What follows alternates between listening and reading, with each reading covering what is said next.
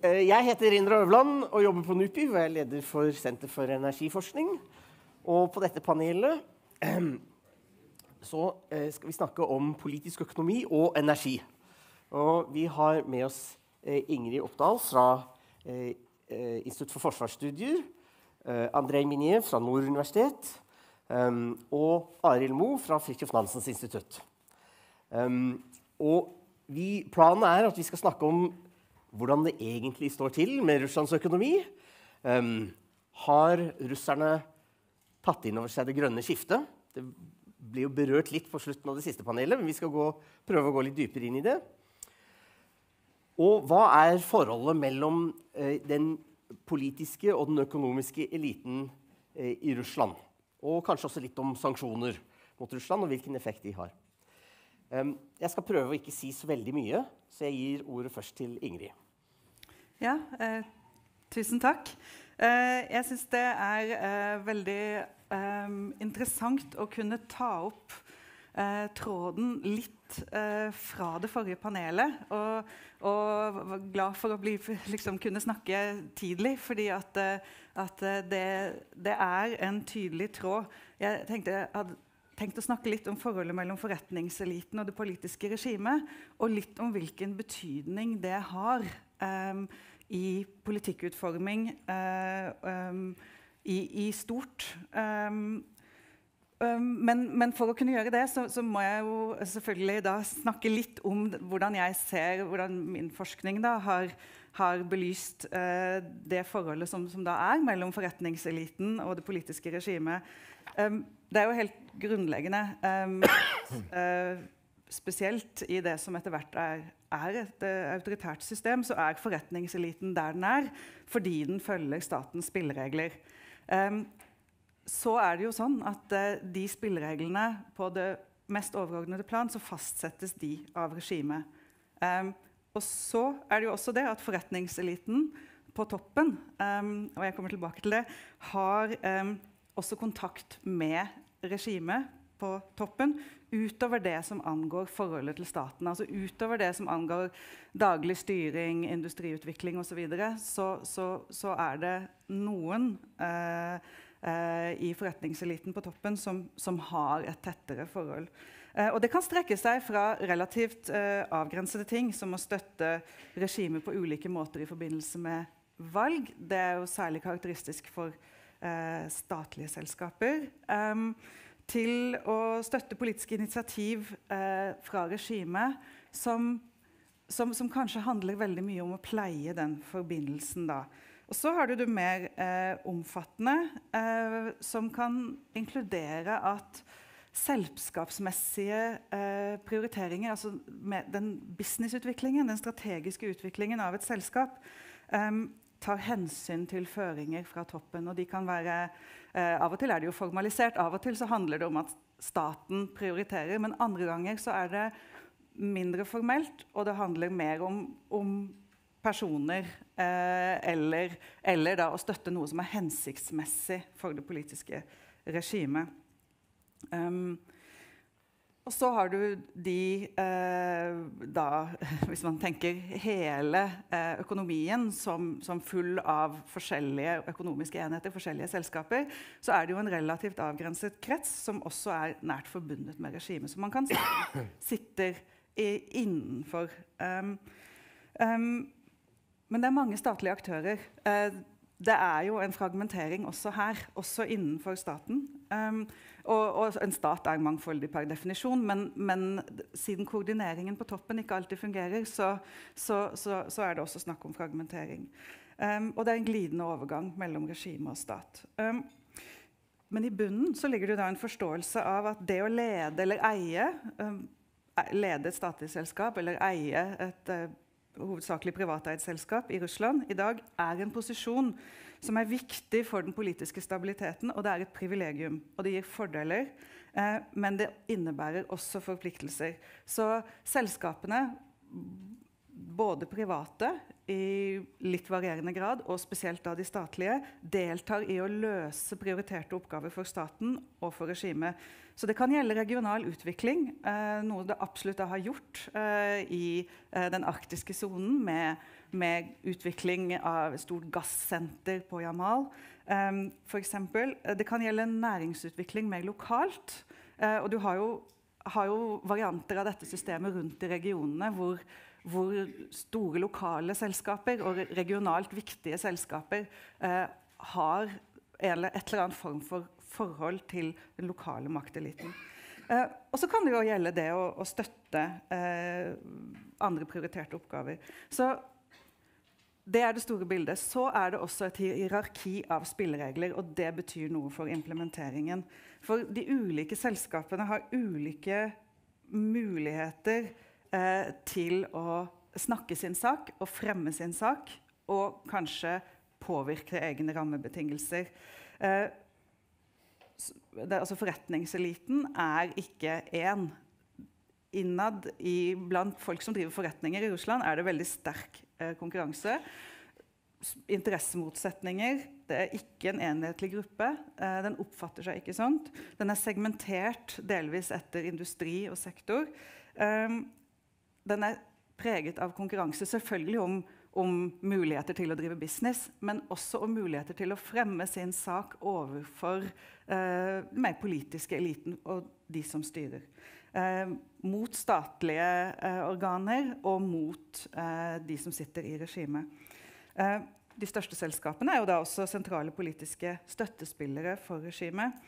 Um, og for av politiske årsaker, altså av hensyn til den politiske stabiliteten, så er det viktig i enhver sentral beslutning som angår økonomisk politikk, så skal de største selskapene de skal ha sitt.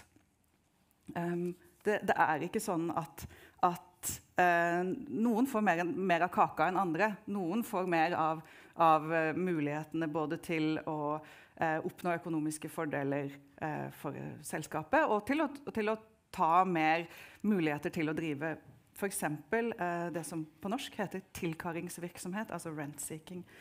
Um, det, det, er, eh, det, er, en kamp om disse mulighetene, eh, men de fordeles også litt utover. Og det er tre veldig relevante sider ved dette for å diskutere økonomisk politikk. Det ene er, er først og fremst kontekst, men en viktig del av bildet. For nå har jeg snakket om noe som er én side av uh, det, som påvirker den økonomiske politikken. Um, det er mange hensyn som har betydning. Um, og ulike deler av byråkratiet kan være en motvekt til f.eks. tilkaringsvirksomhet. De verste utslagene av interessepolitikk. Um, men det betinger jo at byråkratiet, uh, eh, f.eks. Finansdepartementet, har støtte til dette. Det varierer. Uh, så det kan, det kan, avhenge. Det kan skifte fra industri til industri. Uh, den sektoren som jeg kjenner best, nemlig energisektoren, så har det uh, Der er det kanskje et mindre innslag av den finanspolitiske bremsen, men den fins. Særlig, særlig, gjennom Finansdepartementet.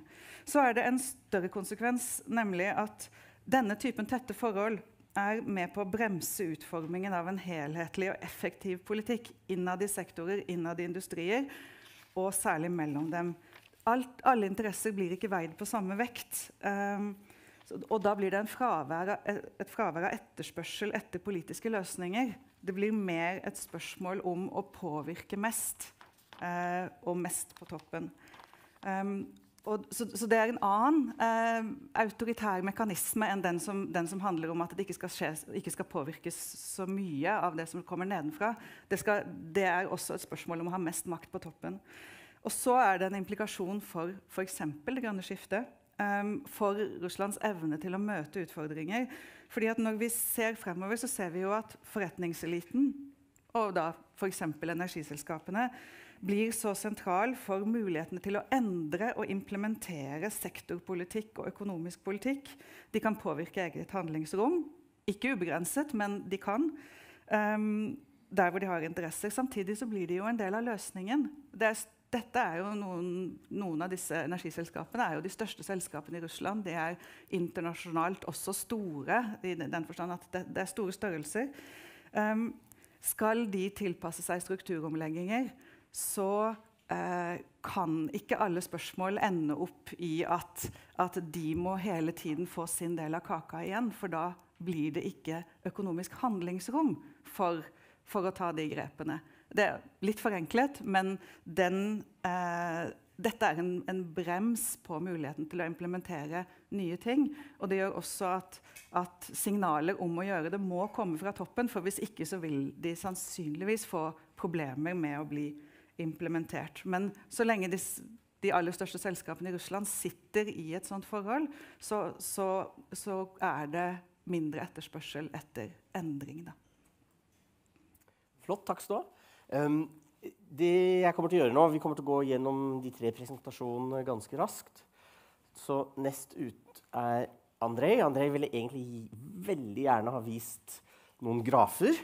Uh, men det er forbudt i denne sammenheng. Så du får prøve å, å, vise grafen med ord, og dere får prøve å forestille dere hvordan de ser ut. Ja, det, det, går bra, Indra. Uh, jeg kommer til å bruke noen jukselabb. For jeg kommer til å snakke om tall. Eh, Russlands økonomi eh, under eh, pandemien. Men pandemien i Russland er dessverre ikke over. Russland har stigende utviklingstrend, og det kommer rundt 40 000 nye smittetilfeller hver dag. Og det er uklart hvor lenge det skal være. Vaksinasjonsgrad i Russland er kun på 33% Det er lavt. Eh, de fleste eh, vestlige land har vaksinasjonsgrad på over 60 Og korona er blitt uh, mye mindre farlig her og landene med høy vaksinasjonsgrad nå. Uh, selv om det kan være høye smittetall. Men det er ikke så farlig og ikke så stor belastning på helsevesenet. Men i Russland det er farlig.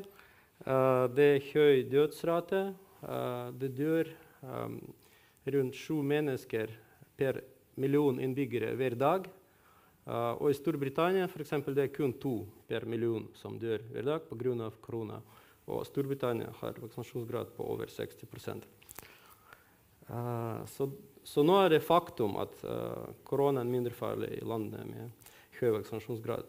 Uh, det er stor press fra myndighetene i Russland til flest mulig vaksinere seg. Men det er flere som har motvilje i samfunnet. Så det er et spenningsforhold mellom myndighetene og samfunnet som, som er også usikkerhet. Altså hvor lenge skal det vare, hvordan den blir håndtert, og hvilke konsekvenser skal det ha for økonomien. Det er uklart. Uh, så det er koronasituasjonen. Og så vi vet selvfølgelig at um, russisk vaksine er ikke godkjent uh, i Vesten. Og den vestlige vaksinen er ikke godkjent i Russland. Så det er veldig begrensa eh, reisemuligheter både til turister og forretningsfolk. Uh, så det, det, kommer til å være. Uh, når det gjelder økonomi um, Før og under korona Jeg har sett litt på tallene til Råstat. Rostat er veldig god i å rapportere operative tall, så man finner mye der. Jeg fant ut at totalomsetning i januar-juli 2020 eh, gikk ned med ca. 8, 8 sammenlignet med samme periode 2019. Uh, eh, men i 2021, i samme periode, uh, januar-juli, uh, den gikk opp med ca. 20 Jeg sier ca., for det, det er vanskelig om hvordan vi skal, se, hvordan vi skal måle inflasjon, må man bruke dollar, komparative dollar, deflator på rubel osv. Så, videre, så det er litt vanskelig. Men vi kan si at økonomien og omsetning i bedriftene den, uh, gikk ned i 2020, og så ble uh, gjenopprettet, og, og, det var en kraftig stigning i, i 2021. Uh, og så hva var drivere til uh, til økonomisk veksten. Uh, tre grupper hoveddrivere som, som jeg ser. Først det er selvfølgelig naturressurser, olje og gass, utvinning av olje og gass, engrosshandel, olje og gass, brensel, produksjon av brensel, utvinning av um, metallmalm og metallurgisk produksjon. Ja, det er de tradisjonelle og det er ressursbasert økonomi som også sikkerhet, uh, stor sikkerhetsgrad i økonomien. Men også vi ser drivere som uh, produksjon av kjemiske produkter og kjemikalier, uh, matproduksjon, produksjon av motorkjøretøy og detaljhandel. Så det er en del av industrien som styrket seg etter innførte sanksjoner. Uh, matvareproduksjon, uh, ja, motorkjøretøyproduksjon. Uh, så, så, det, var noen positive effekter for økonomien, og bedriften måtte klare seg sjøl etter sanksjoner. Uh, ja. Uh, også tredje uh, drivkraft som, som, er viktig i uh, gjenopprettelse av økonomien, det var statens uh, økonomipakke. Uh, staten brukte betydelige beløp på å støtte bedrifter, mennesker, infrastruktur under korona. Så det, det er 6,5% av nasjonal bruttoprodukt årlig nasjonalbruttoprodukt som, som er brukt korona, i koronaperioden. Men statlig tilskudd førte til økt inflasjon, og så nå er det målt på eller prognoser ut året det er 7,5 uh, ifølge sentralbankprognosen, så det er høyt for Russland. Så myndighetene prøver å holde inflasjonen på 4, 4 Så det er mer penger som omsettes, men det er også inflasjon.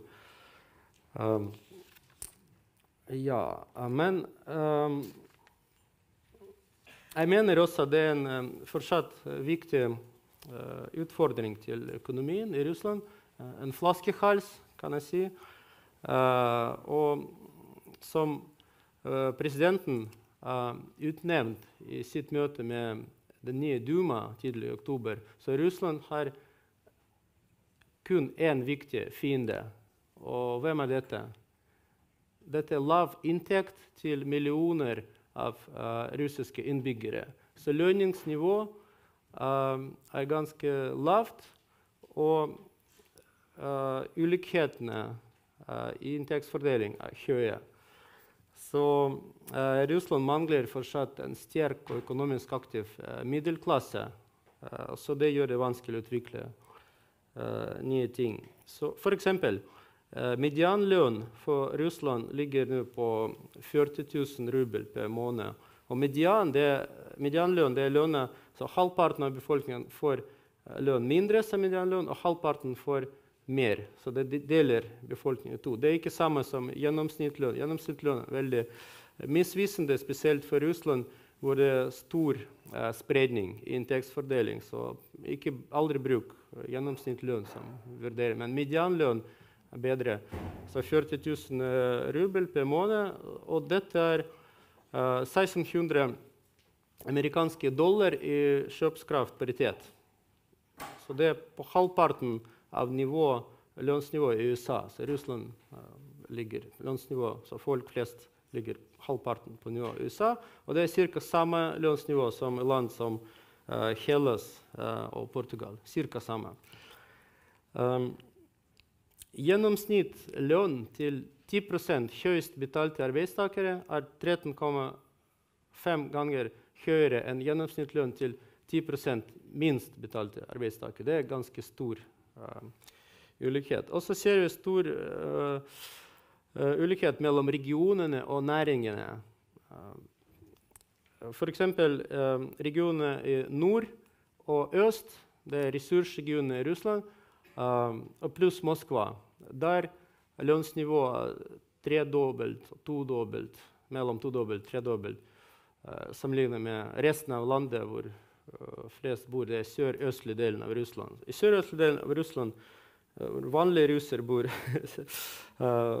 så kan man si at sånn typisk lønn kan ligge på ca. 30 000 rubel per måned. Det er litt over 1000 amerikanske dollar i kjøpskraftparitet. Så det er ikke så, ikke så mye. Så jeg mener at uh, nå, nå, spesielt nå blir det vanskelig med økonomisk uh, omstilling.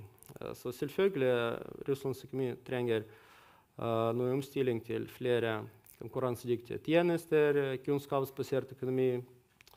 Utdanning og helsevesen må moderniseres, men det er vanskelig uh, pga. disse tingene. Så de strukturelle, så ressursbasert, uh, lave lønninger. Også dette med uh, forhold mellom staten og samfunnet. Uh, tilskudd, subsidier, ikke sant? men mindre utviklingsmuligheter i karriere. ikke sant? Og dette med motvilje mot vaksinering og spenningsforhold. Så disse tingene gjør, gjør det vanskelig for tiden. Takk skal du ha. Arild, hva har du å si til oss? Ja, ja jeg vil plukke opp en tematikk som har vært touchet uh, tidligere. Uh, og det dreier seg om Russland og, og, den grønne omstillingen. Det jeg sier, det er uh, mye knyttet til et pågående prosjekt som vi har om hvordan klimaendringene blir oppfattet i Russland, og hvilken grad det påvirker politikken, og, og hvilke konsekvenser dette kan ha for økonomisk utvikling i russisk Arktis. Eh, klima har jo vært eh, på dagsorden i, i, Russland lenge, men eh, man kan vel si at utsiktene for farlige klimaendringer i mange henseender har blitt snakket ned. Og mange her har sikkert hørt om russiske visjoner om positive effekter av, av klimaendringene i nord, som liksom et typisk for, for den russiske innstilling. og det er helt klart at også i russiske policydokumenter, som vi har gjennomgått i en viss detalj, så har dette vært et, et viktig element. det ble spurt her i sted om hva, hva mener folk Uh, og det er slett ikke noe tabuemne i, i, i, Russland å snakke om klima. Men, og det har også vært gjennomført flere opinionsundersøkelser. Det man kan si sånn, som et litt generelt bilde, er vel at folk oppfatter at det er endringer i miljøet, men ikke, setter ikke dette inn i et si, klimakontekst. Um, på samme måte som vi kan se befolkningen her nå i stor grad gjør. Man har lokale problemer, uh, ser endringer, men det er ikke, liksom et, det er, det ikke klimarelatert. Er man ser mer på kortsiktige endringer i, i værmønsteret. Vi har faktisk i, i, dette prosjektet vi holdt på med, en, en pågående mindre sånn, undersøkelse av visse gruppers forståelse av klima og sammenheng med økonomien. Så jeg er litt spent på hvordan det eh, vil slå ut. Men det som også har kjennetegnet eh, politikken eh, i Russland, det er at man har vært veldig eh, presentert andre lands eh, klimapolitikk som eh, litt suspekt. Og spesielt da EUs e politikk, omstillingen i Europa, ble lenge portrettert som et antirussisk tiltak. Altså et forsøk på å bruke klima som en måte for å sperre Russland ut av europeiske markeder. Så dette har vært eh, relativt eh, tydelige trekk inntil, inntil eh, ganske eh, nylig. Når det gjelder russisk klimavitenskap, så vil jeg si at det bildet som jeg og jeg tror også mange har hatt av den som veldig på siden av de internasjonale strømningene, det er feilaktig. Ja, det finnes mange stemmer i russisk klimaforskning. Og det finnes absolutt stemmer som har argumentert for de positive sidene som det dominerende, og som har også trukket ganske menneskeskapte klimaendringer i tvil. Men det er ikke det dominerende bildet. Den russiske klimaforskningen er etter mitt syn i, i dag i hvert fall, og senere år veldig stor grad i samsvar med det internasjonale klimapanelet. Men det betyr ikke at, at i politikken disse litt mer uh, sære uh, synspunktene har fått mer oppmerksomhet. Så, men, men, eh, i all rettferdighet så må det sies at de mer seriøse også eh, klimadokumentene, som også kommer fra russiske myndigheter, de støtter seg på en, en forståelse av klimaendringene som er veldig nær IPCC. Og det som er eh, veldig spennende, er at det har skjedd endringer også i politikk de senere årene. Ganske ferskt. Jeg vil kanskje si bare de siste to, to årene. En ting er at det har vært en byråkratisk prosess i Russland etter at Russland sluttet seg til Parisavtalen, som da forpliktet Russland til å utstede en rekke en serie med, med spesialiserte klimadokumenter. Så det har vært en prosess som har, har pågått, eh, og som nå munner ut i dokumenter. Men det andre er nok at selve klimautviklingen og dokumentasjonen av den nå virkelig har slått inn. Og det er som det har blitt nevnt tidligere, veldig store, raske klimaendringer i, i russisk Arktis. Og det er jo spesielt permafrosten som bekymrer. Og man begynner nå å se på virkelig de store eh, økonomiske konsekvensene det vil ha. Tidligere og veldig lenge så var uh, russisk klimatilpasningspolitikk den var veldig teknisk. Det var, var å finne de beste tekniske løsningene for å fortsette å drive med det man allikevel skulle drive med. Nå ser man dette som et mye større, eh, mye større utfordring. Og det er den ene driveren, den viktige driveren for det jeg mener er en, i hvert fall en refortolkning på toppnivå. Men det andre er også at man tar klimaomstillingen, det grønne skiftet, spesielt i Europa, på alvor. Det er slutt med den der flåsete nedsnakkingen av dette her som noe antirussisk eller useriøst. Det tas da på alvor. Og man ser at dette er, stor, er uten stor utfordring for russisk økonomi. Som dere vet, Russland er en verdens største energieksportør, karboneksportør, og har samtidig en veldig energiintensiv industri. Bruker veldig mye, mye eh, energi per, eh, per eh, enhet i nasjonalproduktet. Så nå har man altså kommet ut med dokumenter, som riktignok er fortsatt i bearbeidelsesfasen, som, eh, som da sier at eh, dette er en stor utfordring Russlands, for Russlands økonomi. Og ikke bare fordi at Russlands markedsadgang er uh, blitt mer usikker på sikt, altså for eksporten. Det dreier seg også om muligheten for en karbontoll som vil kunne ramme russiske energiintensive produkter. Men i disse dokumentene så går man også enda lenger og at, sier at man må også rydde opp hjemme må legge om politikken hjemme for å kunne være en troverdig partner og for å kunne tiltrekke seg investeringer. Så russiske selskaper må gjennomføre en betydelig intern opprydning for å fremstå som, som interessante partnere. Og Det er en litt ny, eh, ny nytt, nytt, aspekt. Samtidig så har Russland muligheter, og disse blir jo også veldig snakket opp. Spesielt innenfor hydrogen, hvor det er store visjoner om at Russland kan få en viktig Eh, posisjon i verdensmarkedet. Eh, man snakker om eh, sånn, karbonlagring som andre muligheter. Det er også sånne ting som er, gir, gir liksom litt sånn lyse utsikter. Men uansett så vil endringer kreve store ting både på skattesiden, det krever på innføring av kanskje intern kvotehandel, teknologiutvikling. Det er masse slikt. Og internasjonalt så er Russland også veldig interessert i å få aksept for at prosjekter som gjennomføres i Russland, kan regnes i forhold til andre lands kvoteregnskap. Så jeg tenker jeg kan stoppe der foreløpig. Skal vi ta litt mer. Ja. Da, kanskje siden du var sist, så starter jeg med deg først. Um, vi, vi, prøver å være så korte som mulig, fordi jeg tror vi har en del spørsmål fra alle som følger oss på nett. Uh, de mange millioner av tilskuere som er der ute. Um, Eh, men en, eh, et spørsmål jeg brenner inne med, er dette du sa om CBAM. Altså uh, sånn um, Carbon Border Adjustment Mechanism til EU. Um, og nå ser vi i, at til Glasgow så har jo Biden, som hadde håpet å komme med mer um, Men han, han kommer, det han kommer med, er ikke veldig konkret, og det inkluderer ikke en karbonskatt. Det kan han ikke love, for det er vanskelig å få til. I hvert fall foreløpig i USA. Uh, og samtidig, som du nevnte, så kommer det jo offisielle signaler fra Russland om at de vurderer å innføre det som svar da, på EUs CBAM. Mm. Um, som er et, et, slags drømmescenario for EUs strategi. Så, men er det, er det, bare pjatt? Kan kunne russerne virkelig finne på å innføre en karbonskatt? Og gjøre det før amerikanerne? Vel, det er i hvert fall et, et, et tema som er uh, på bordet, og som blir, uh, blir uh, fremhevet som en mulighet. Men i praksis store problemer.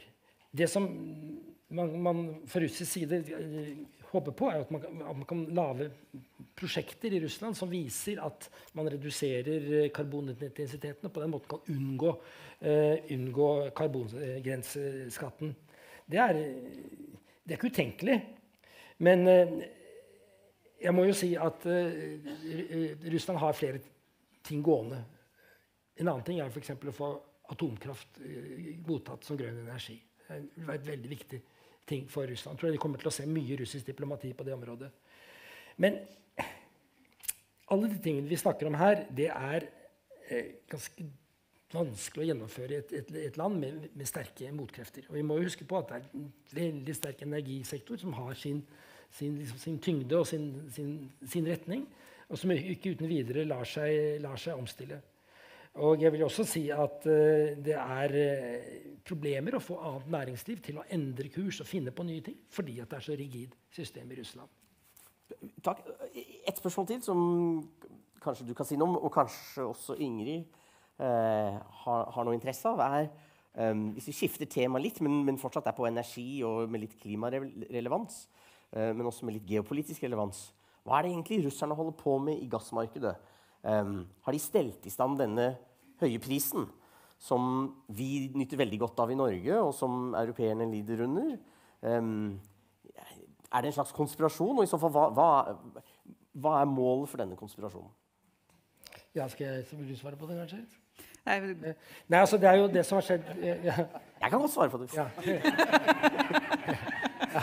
Nei, altså det som, eh, som, alle her har fått med seg, så har eh, prisene på gass økt veldig i markedet. Det har flere forklaringer. Det er ikke bare Russland, men det er litt Russland. Uh, og det kommer av at Russland ikke har sendt så mye gass gjennom Ukraina som forventet. Men det må understrekes at Russland har oppfylt sine eksportforpliktelser. Men de kunne ha sendt mer. Og hvorfor har de ikke gjort det? Jo, det er til min mening rimelig å si at dette har vært for å legge press på Europa for å få Nord Stream 2 i, i, i, gang. Jeg tror det er en ganske enkel sammenheng. Men, uh, og det, er mulig at det kan bli vellykket, men jeg ser dette også som en, en, refleksjon av hvordan man har en del kortsiktige muligheter. Kortsiktig optimalisering. Men kanskje på bekostning av det langsiktige. For i, i, i sammenheng med det jeg sa i sted, så tror jeg mye altså, Den litt mer alvorlige diskusjonen i Russland går på kan Russland bli en integrert partner i den grønne omstillingen. Altså De som er mest, mest uh, aktive her, f.eks. Anatoly Chobais, vil jo si det. Men for å, for å, bli det så må man være en troverdig uh, medspiller. Og den politikken som Russland da føler i, i gassmarkedet, mener jeg undergraver russisk uh, eksport på lengre sikt. Vil du legge noe til?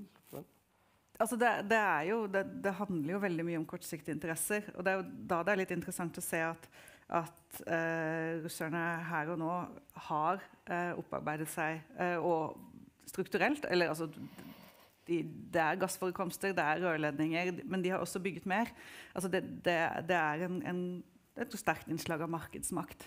Eh, en del av de endringene som har skjedd på EUs side med, å, med å, å prøve å gjøre dette gass mer eh, til et, til, et, ekte gassmarked, har jo egentlig spilt opp til russerne. Men det er jo også derfor at, eh, at eh, den bevegelsen da mot et reelt grønt skifte eh, kanskje kan slå bein under den strategien og gjøre det til, til noe som, som, kan vise seg å ha, ha, vært en veldig dyr investering i noe som ikke varte så lenge. Det, det er jo noe som tiden eventuelt vil vise.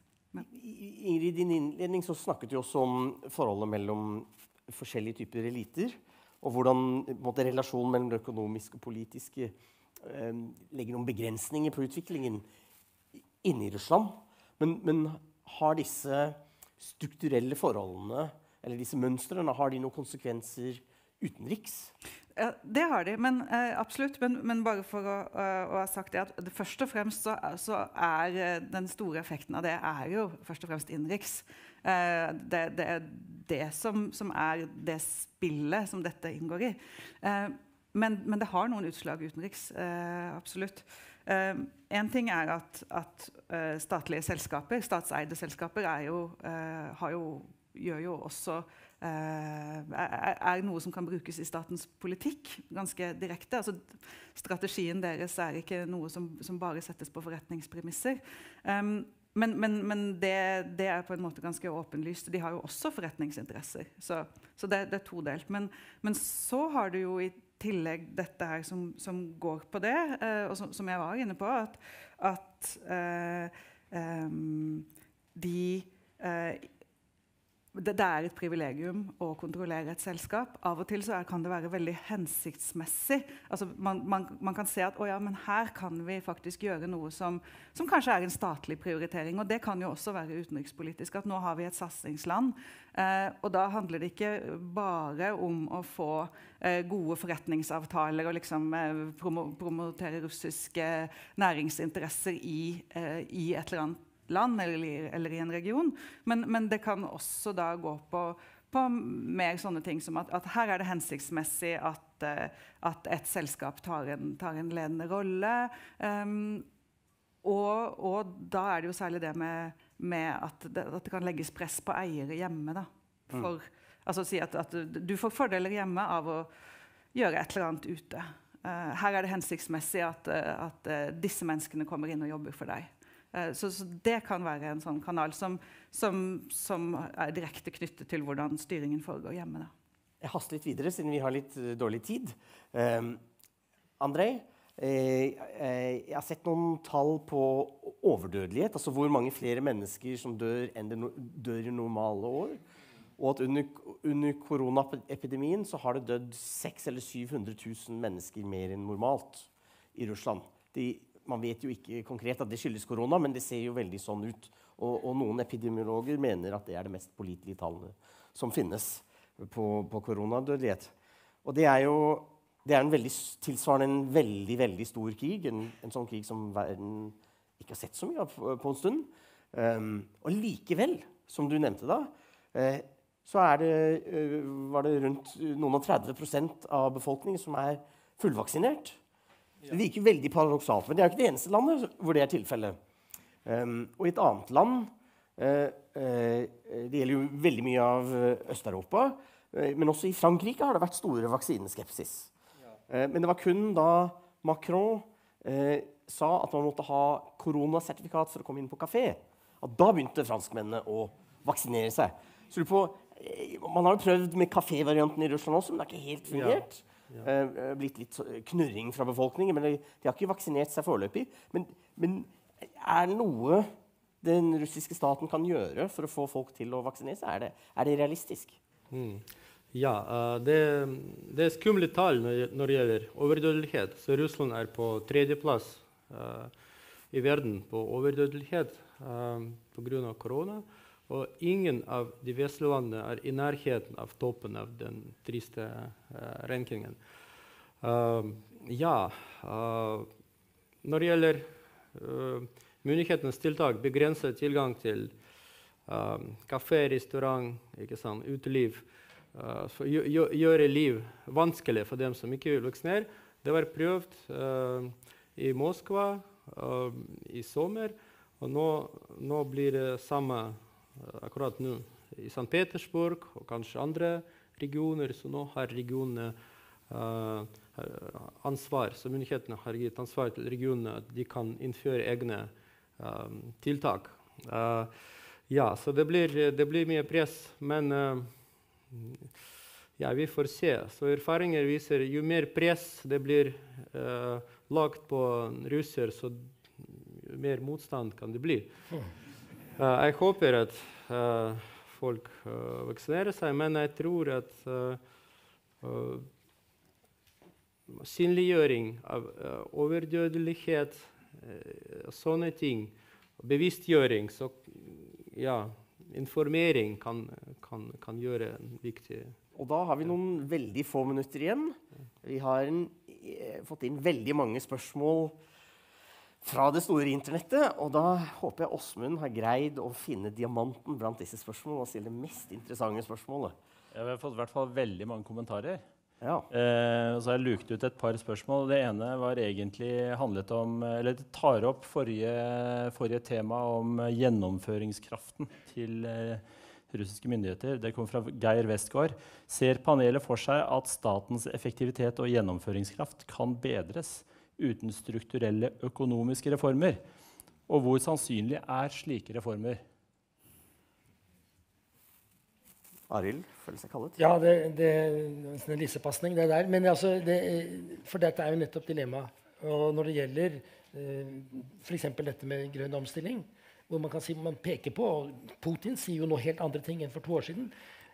Men hvis du virkelig begynner å, å, å tenke på strukturelle endringer, så betyr det også endringer i maktbalansen. Og da truer du det politiske systemet. Så der ligger det liksom en liten dynamittgubbe Spørsmålet Vil man tenne på den, eller vil man bare la det seile videre? Det er faktisk, det ligger et grunnleggende paradoks i den situasjonen. Ingrid? Ja, det, det, er jo det helt sentrale. Uh, og litt av greia der er at jo, jo lenger dette ikke skjer, jo større er sjansen for at det er en ytre krise, sånn som f.eks. konsekvenser av grønt skifte og sånn, som, som, tvinger det frem. Og det er i seg selv eh, noe som, som, som, vil føre til at det blir mer ustabilt enn en, altså, Enten ustabilt på én måte, eller kanskje på en annen måte. André, helt kort. Ja. Grunnleggende utfordring til gjennomføringsevne det er mangel på økonomisk aktiv uh, middelklasse uh, i Russland. Uh, også en annen ting når det gjelder eliter, så politiske eliter og forretningseliter, eiere av de største selskapene, ledere og toppledere i politikk. Uh, så det er en gruppe mennesker um, som uh, begynner å bli litt gammel. Og så det kommer uansett generasjonsskifte i elite, elite og ledelse. så jeg håper at det vil skje naturlig at disse omstillingene kan ja, kanskje naturlig. Så det kommer, det kommer endringer uansett, uh, som jeg tror. Ja. Skal vi ta et til, hvis ikke det er noen fra salen? Nei, um, det er en her som også spør uh, uh, sier takk for konferansen. Har ett spørsmål. Er det noen tegn til bedring i norsk-russisk forhold etter regjeringsskiftet og med Huitfeldt i spissen av UD?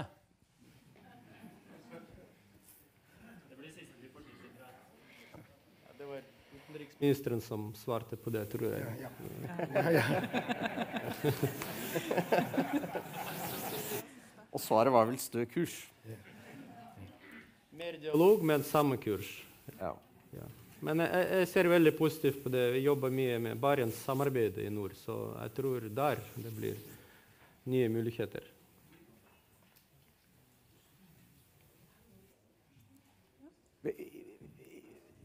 vi har jo Det ser ut som vi får eh, bitte litt tid til. Eh, vi har et spørsmål her i salen. Vi har et spørsmål i salen. Ok. Ja, takk for presentasjonene og ytringene. Mitt navn er Jarle Forbord. Jeg jobber for Norsk-russisk handelskammer. Og vi prøver jo, til tross for eh, covid og diverse eh, annen eh, ikke-positiv utvikling, å drive handel. Og det er faktisk mulig. Og Det Arild Moe nå nevner da om hydrogen og tenkning omkring alt dette, det skjer faktisk med stor interesse fra russisk side. I går så var det en konferanse, Step by Step, Murmanskjelv, hvor russerne uttrykte sterke ønsker til vår regiondirektør, som deltok, i å få et mye mer omfattende samarbeid med norsk næringsliv på det området.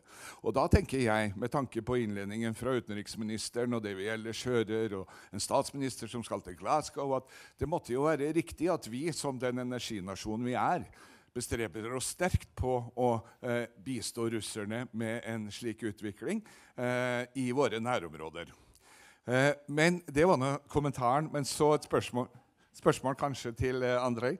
Eh, du sier det at manglende middelklasse, og jeg, er helt enig i det. Men hva med SMB-politikken for en statskapitalisme som vi jo har i dag i Russland?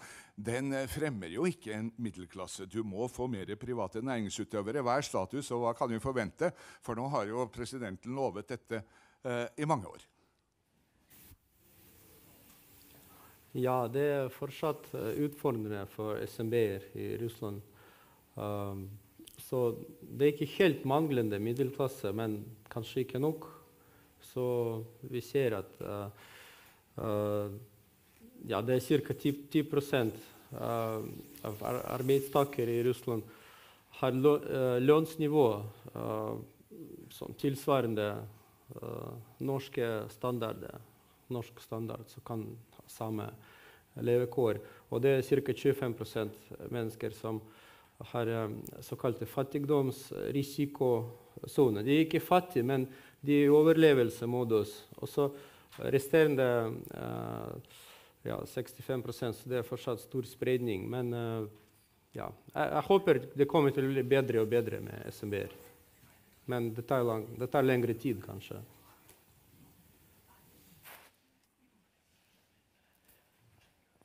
Og da er tiden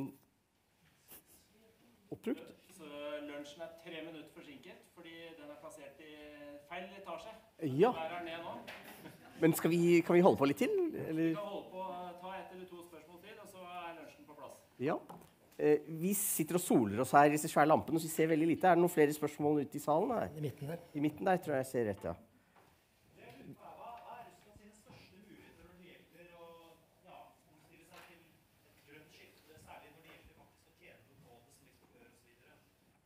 Hva er Russlands største muligheter for å tjene på grønt skifte? Ja, Arild nevnte noen, listet noen ting. Hydrogen. I hvert fall sånn man ser i dag, så er det hydrogen. Men altså, hydrogen er ikke bare enkelt. Å snakke om å eksportere hydrogen. I hvilken grad kan man bruke eksisterende eh, gassrørledninger? Man kan blande hydrogen med gass. Eh, men det er store visjoner. Eh, noen snakker om 20% av verdensmarkedet og en rask økning frem mot 2050. Jeg tror det er det som spesielt, uh, spesielt uh, trekkes frem. Ingrid har også noe å legge til. Ja, altså det er åpenbart en stor, stor mulighet. Uh, men denne muligheten også for å kunne få kjernekraft med som en del av det grønne skiftet, er jo, der, der, er jo Russland verdensledende. Så er, så er kjernekraft veldig dyrt, og sånn, men det er jo en helt klart noe som, som vil kunne, kunne, slå til hvis det lykkes. Da.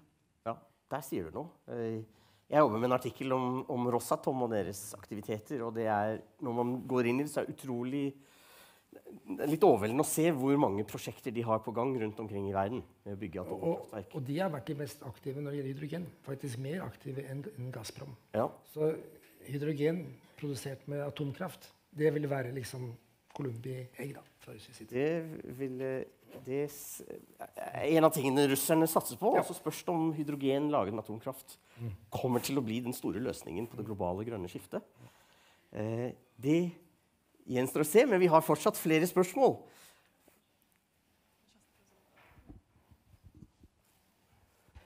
Uh, ja, takk. Uh, Bror Esker Herred fra Naturungdoms Russlandsprosjekt her. Um, Arild eh, Mo nevner innledningsvis eh, hvordan konsensusen eh, rundt eh, klimaendringer eh, i Russland har eh, endra seg politisk de siste årene. Jeg lurer på Hvordan påvirker det sivilsamfunnet? har det noe særlig påvirkningskraft gjennom bl.a. statlige medier og den typen ting? Ja. Takk. Vel, vi har jo snakket om sivilsamfunnet i andre sammenhenger her, og det er som du vet uh, veldig svekket av andre grunner. Så um, akkurat per i dag uh, så vil jeg vel ikke si at det, er, at det har blitt en, en, et tema i, i, sterkere grad enn sivilsamfunnet. Du kjenner jo dette godt selv, antagelig, og det har jo vært miljøorganisasjoner hele tiden engasjert. Men det er ikke blitt en folkebevegelse for klimapolitikk, for å si det sånn. Og der tror jeg er et stykke igjen til. Dette er fortsatt litt eli eli mer elitepreget.